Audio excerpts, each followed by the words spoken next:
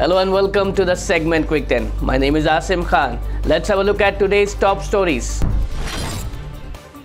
Congress leader Shashi Tharoor said that the demolition drive in Delhi's violence hit Jahangirpuri area was illegal, arbitrary and unconstitutional and called it a new technique of intimidation which could take the country's image downhill. He said, India's image is going downhill around the world. Everything I hear from my friends abroad is deeply negative. We are being identified with minority persecution and Islamophobia. We at one point used to be respected for our democracy and diversity. He said BJP is responsible for this. The Supreme Court will hear petitions filed against demolition drives in Madhya Pradesh, Gujarat and Uttar Pradesh while hearing the case against the demolition in Delhi's violence hit Jahangirpuri. Senior Congress leaders P. Chidambaram and Kapil Sibal today hit out at the targeted bulldozing of the alleged illegally constructed shops and houses in the violence-hit area of Delhi's Jahangirpuri. Kapil Sibal, appearing for the petitioners, says extra legal punitive measures are being used. One particular community is being subjected to bulldozing. Encroachments are happening across the board, not limited to any community. This is not a forum for politics.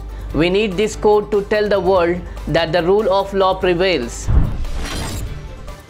According to the Union Health Ministry data updated today, with 2,380 new coronavirus infections being reported in a day, India's total tally of COVID-19 cases rose to 4 crores 30 lakhs 49,974, while the active cases increased to 13,433 and the number of the death climbed to 5 lakh 22,062 with 56 fresh fatalities.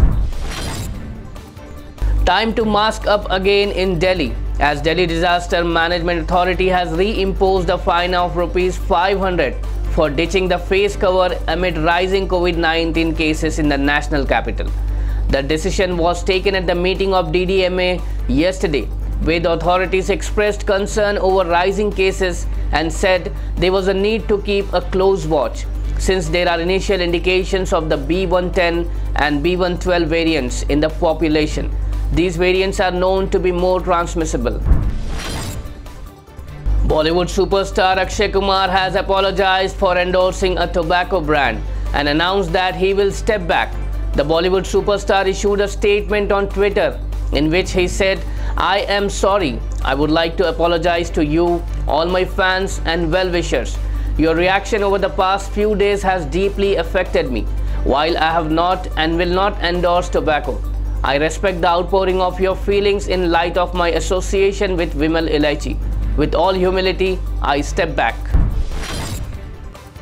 Today, UK Prime Minister Boris Johnson arrived in Ahmedabad, Gujarat, commencing his two-day visit to India. On the first day, he visited Sabarmati Ashram and tried his hand at spinning the charkha and major investment announcements are expected between India and UK during this visit. Managing Director of the International Monetary Fund, Kristalina Georgieva, has said that a high growth rate for India, as projected in the latest World Economic Outlook, is not only healthy for the country but also positive news for the world. President Joe Biden will deliver an update on the Russian invasion of Ukraine today as he works to complete a new arms package for its military. In a miraculous incident, an 11-year-old boy survived a landslide in the Philippines by taking refuge in a refrigerator for around 20 hours. He suffered a broken leg, but the officials said that he is conscious. Well, this concludes today's segment. For more updates, keep watching BBN News channel and do like, share, comment and subscribe. Goodbye.